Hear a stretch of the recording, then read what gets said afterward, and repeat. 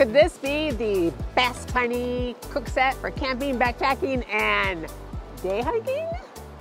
Maybe. We currently have the GSI Pinnacle cook set. It's a larger one. We use it for our tiny camp kitchen.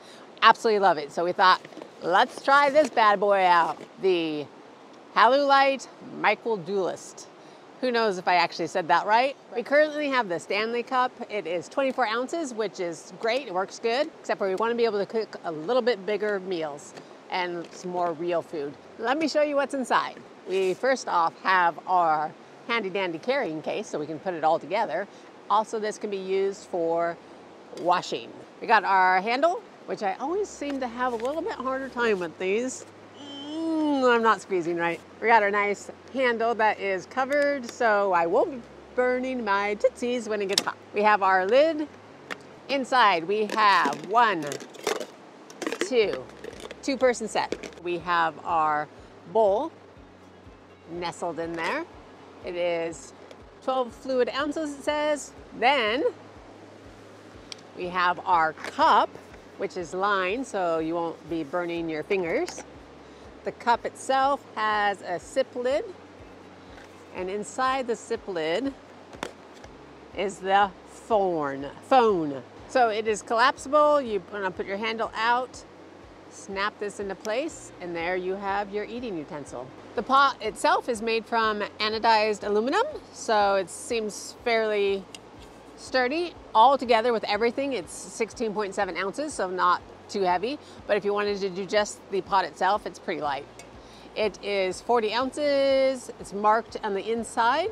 Nice thing about this pot, it actually has a little pour spout area it's indented. And the nice thing about that is this lid has little holes on the top so you can vent the steam out or it can be used also as a pour spout. The lid itself has a nice little handle so it's easy to come on and off. One problem we've heard of is these little handles have come off, lost, broken, but the uh, people have contacted the company and they have replaced them, so that's really great. We're gonna cook up some food and test out our pot. Coincidentally, RightOnTrek sent us some vegan shepherd stew. Not sponsored, but we're gonna test it out and see how it is and give you our honest review of how it tastes. It's nice being able to find some vegan backpacking options. So this is a little bit different than what we've done in the past. Normally we've put water into the package and eaten it. This one we actually put it into the pot, which luckily we have a one liter pot, and cook it inside that. It says we need to boil 14 ounces of water, but we need to first put some oil in. I'm hoping that the oil packet's inside. We've got our little flakes. Yep, I see some oil in there. Get that oil out. Nice that we can use this bag for our garbage. And it in there. Use the bag it came in. Inside the pot, it has measurements, so we need about 14 ounces, it says. So that's the, just under the second line.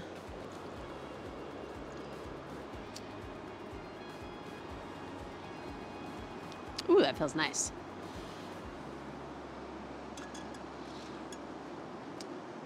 Let's put the lid on it to help make it boil faster. And now we wait. Once the water has boiled, we're gonna add the inner packet, this, cook that for two minutes, and then we're gonna turn the heat down and add the potatoes. Oh, it's boiling, that was fast. We are going to our, add our other packet now. Let's put it in there. Turn the heat down. Cooking for two minutes. While we wait for this to cook, we are enjoying the fast moving river. We've got, had a bunch of rain. This is the first time it's actually been sunny. We are going to pour the potatoes in and stir everything together. Then we will turn off the heat and put a lid on it.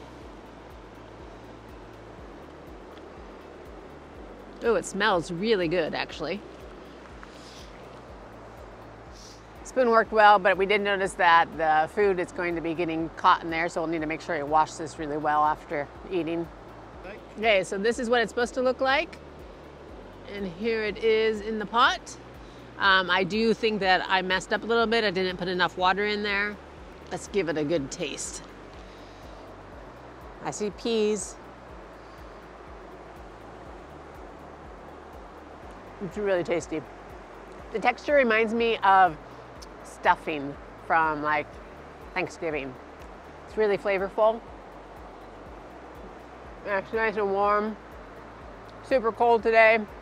So this is a nice treat. You can see the steam coming off of it. The pot did really well. Cooked it fast. One downfall for this type of meal is that there will be more cleanup, whereas if it was just put into the bag, we could just eat it out of the bag and toss. Our last backpacking trip, we actually had some ramen and we had to break it all up to fit into this little guy. We're pretty excited about this pot because it is a lot bigger. It should be able to fit a lot more different types of food in there.